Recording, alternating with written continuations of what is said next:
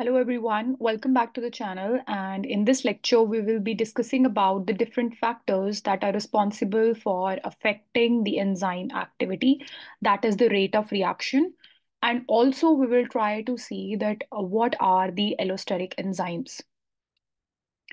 So there are several different factors or the parameters that can be responsible for altering the rate of reaction. That is the rate at which the enzyme is converting the reactants into the products. So there are some of these factors that are responsible for governing that rate of reaction, and these include substrate concentration, enzyme concentration, product concentration, temperature, pH, activators, and inhibitors. So we are going to look into these factors one by one and understand that how exactly they are able to alter the activity of the enzyme. So the first factor is the effect of temperature. So you guys know that there is this enzyme and it has an active site. This is the active site or the part of the enzyme that is responsible for binding a substrate. Once the substrate binds to it, the reaction takes place and products are released. Now, how exactly the temperature is affecting this binding of the substrate and conversion into products? If we want to see the trend that is graphically, what happens is that as the temperature is increased, the activity of the enzyme is also increased. Why is it happening? Because when the temperature is increasing, there are more collisions happening between the substrate molecules and the enzyme active site molecules. So because of these more collisions, there is more formation of the enzyme substrate complex and eventually the conversion of product. So this happens when you keep on increasing the temperature. But this increase in the activity of the enzyme won't be happening as you increase the temperature until a certain temperature condition only, which means that once a specific temperature is achieved, after that, the enzyme activity will start to decline. As you can see here in the graph, that as you are increasing the temperature, the activity of the enzyme is also increasing, but on a certain temperature point, which is known as the optimum temperature, if you further increase the temperature, the decline in the enzyme activity will be noticed. Now, why is there a decline in the activity of the enzyme after this temperature increase? Because when you increase the temperature very high, there is a disruption of the bonds that are holding the active site intact in the enzyme. Now, due to the disruption of those bonds, the active site will lose its three-dimensional conformation and hence no longer will be able to bind to the substrate and convert into products. So that is the reason why it happens. So the uh, so the increase in the temperature can increase the enzyme catalytic activity up to a certain limit only, and the maximum activity is observed between 30 to 45 degrees Celsius for most of the enzymes. So this is the optimum uh, temperature condition for most of the enzymes. And beyond 45 degrees Celsius, the enzyme activity is reduced drastically due to the loss of three-dimensional conformation. And if you uh, like increase the temperature even further, there will be denaturation of the enzymes that it will lose the conformation completely. The second effect, uh, the second parameter is the effect of pH. Now, there is a certain range of pH in the biological bodies in which the enzymes are functioning their best. For example, uh, in the human bodies, it's around 6 to 7 point something. So the enzymes, they are functioning in this range uh, only. If you increase the pH or decrease the pH outside this limit, there will be a change in the activity of the enzyme. Why is it happening? Again, you know that the active site of the enzyme is having certain amino acids and there are certain charges present on those amino acids. If you are increasing or decreasing the pH, there is a disruption of these charges, which means that these charges will change. Probably there are going to be certain interactions due to the increased ionic concentration. So because of this disruption of the charges, the active site will again lose its conformation and hence not be able to bind to the substrate anymore and form the products. So therefore, the enzymes are active only over a range of pH and most enzymes are specific to a particular pH. Now, this pH uh, on which the enzyme is going to show its maximum activity dep depends on the part of the body where this enzyme is present. For example, if we talk about trypsin, it is active in the alkaline medium, which means that alkaline pH is required for its activity. If we talk about pepsin, which is a stomach enzyme, it's active in the acidic pH because you know that stomach they are they have acidic acids present, and diastase that this is active in neutral medium. So most of the enzymes they have a specific pH at which they show their maximum activity. Outside this pH, they will not show their activity because of the disruption of the charges present in their active site. And if you look at the graphical representation, there's a bell-shaped curve formed, and this bell-shaped curve is covering the range of pH where this enzyme will show its activity. Outside this range, the uh, activity is declining. The third point is the substrate concentration, that how exactly the concentration of the substrate is affecting the activity of the enzyme. So as you increase the substrate concentration, the activity of the enzyme is also increasing. So the enzyme activity is increasing with the increase in the substrate concentration. Why is it happening? Because if there will be more substrates, there will be more collisions happening between the enzyme's active site and the substrates, and hence there will be more formation of the enzyme substrate complex and eventually the production of the products. But this can happen only till a certain extent. Why? Because there will be a limited number of enzymes. For example, let's say that you have these five molecules of enzymes, and I have shown the active sites of these enzymes. Now you have certain substrates present here. Now, as the substrate concentration is increasing, there will be more uh, enzyme substrate complexes being formed and eventually the products. But once all of these enzyme active sites are saturated, which means they are covered with the substrates, there will no longer be an increase in the active site of the enzyme. Why? Because there will be no active sites left behind, right? So as you increase the substrate concentration, the rate of reaction is increasing, but up, up till a certain uh, level only. And after that, if you increase the substrate concentration even further, there will be a saturation point because all of the active sites will now be covered with the substrates. So after the saturation, the enzyme activity becomes steady. And after this, if you keep on increasing uh, the substrate concentration, there will be no positive effect on the velocity of the reaction. The next point is the effect of enzyme concentration, that how exactly the concentration of the enzyme is affecting the rate of reaction. So an increase in the concentration of enzyme will increase the rate of reaction if enough substrate is present in the medium. So as you increase the enzyme concentration, the rate of reaction will also increase. Why? Because there will be more active sites present to bind to the substrate.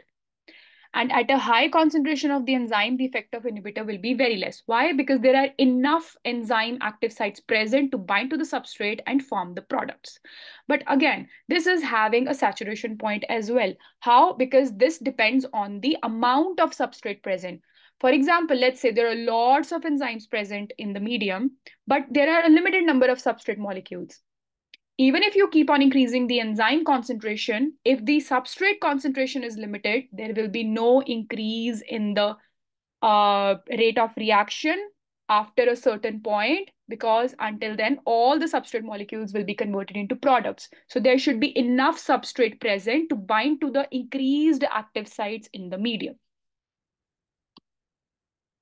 And the next one is effect of inhibitors. Now, inhibitors are the molecules that are able to suppress the activity of the enzyme. They will inhibit the activity of the enzyme.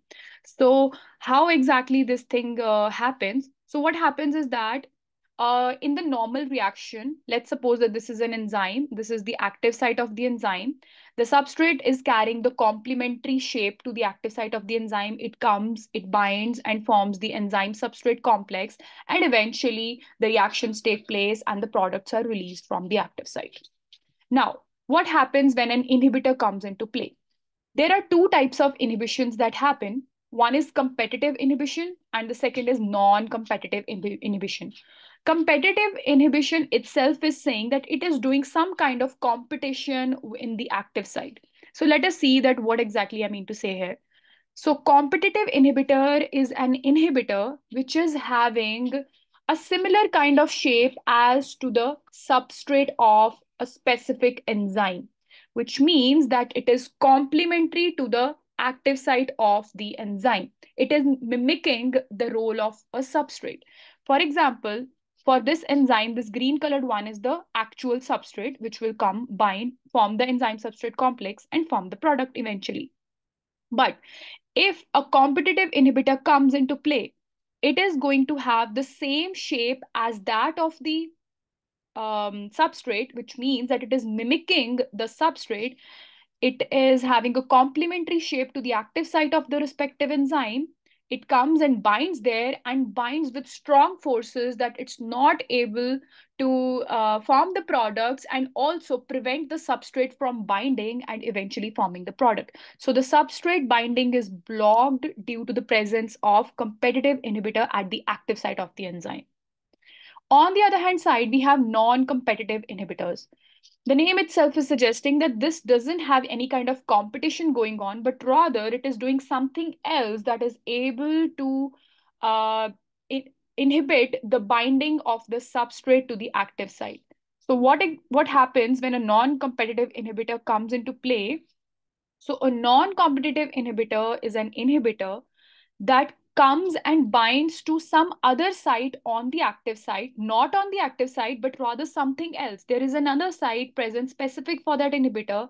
It comes and binds on that site and leads to the change in the conformation of the um, active site, which leads to the inability of the substrate to convert into product. So something happens in the active site due to which the substrate gets stuck and it cannot move out to form the product. Also, in some cases, there is the substrate will not bind at all. There will be a change in the conformation of the active site. The substrate cannot bind. Or if it gets bind, it will not be able to re release itself. So this is the effect of the non-competitive inhibitor. On the other hand side, we have activators as well. The activators are the molecules which are able to enhance the activity of the enzyme. So how they are doing that? So uh, let's suppose that this is an enzyme and this is a positive activator molecule. This is an activator. This comes and bind to the enzyme on a different site other than the active site and leads to some changes in the active site of the enzyme, leading to the change in the shape, which is able to bind to the substrate now.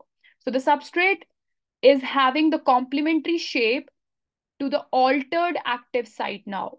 So previously, the active site was not having a shape complementary to the substrate, but because of the addition of this activator, the shape is now changed as complementary to the substrate. So this is how the activators work.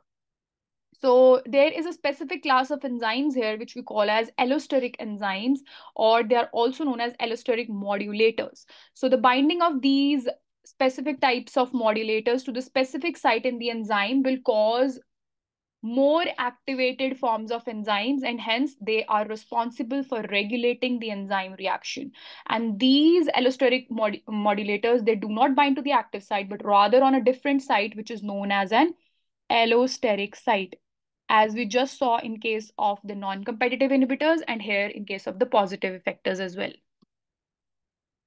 So allosteric means other site. So there are two receptor sites for these enzymes.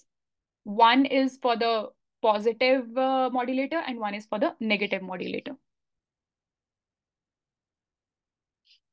Now there is one more concept of feedback inhibition. So inside the physiological bodies, when a lot of pathways are taking place, this feedback inhibition is a very important concept to regulate the enzymes and to regulate the pathway. So feedback inhibition occurs when a biochemical product of a pathway blocks an enzyme at the beginning of the pathway. For example, let's say that there is a pathway going on the substrate A is getting converted into B to C to D to E. Now there are specific enzyme molecules that are carrying out these reactions.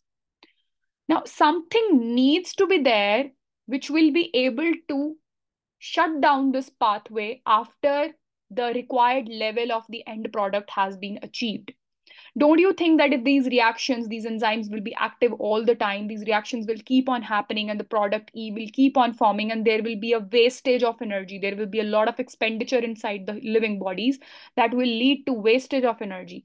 If there is only a certain amount of product e required inside the cell and this uh, pathway is not shutting down after that requirement is fulfilled there is no need of e anymore. So we need to shut this pathway down to indicate that okay we have got the enough product now close it down close down. When i will need you again i will activate the pathway. So how this is happening? This is happening with the help of feedback inhibition. So feedback inhibition is the inhibition in which the product of the pathway becomes the inhibitor the allosteric inhibitor for the first enzyme of that reaction so what happens is that this product, whatever the shape it is having, it is complementary to the shape of an allosteric site present in the first enzyme of the pathway. It goes and binds there and leads to the change in the conformation of the active site, leading to the inability of the previous substrate to bind to that active site and form the further products. So this is how the cells use this method to slow down the production, conserve the energy, and to keep a state of balance within the cell. So this is what the feedback inhibition means, where the product, the final product is acting as the allosteric inhibitor for the first enzyme of that pathway. So this was about the uh, different effects of uh, parameters, different parameters on the enzyme activity. Thank you so much.